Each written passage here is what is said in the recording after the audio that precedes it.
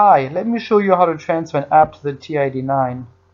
Uh, in this case, we're going to TI-89.com. We're going to get the chemistry app. So we enter the 14-digit calculator ID. Right here, press buy now. Gets us to PayPal, verify information, log in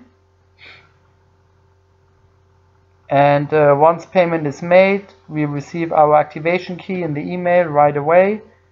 Um, we got to go to ti89.com slash apps to download the app. Just click on it.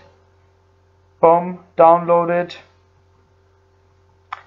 Uh, now we have to launch TI Connect which is freely downloadable from TI's website.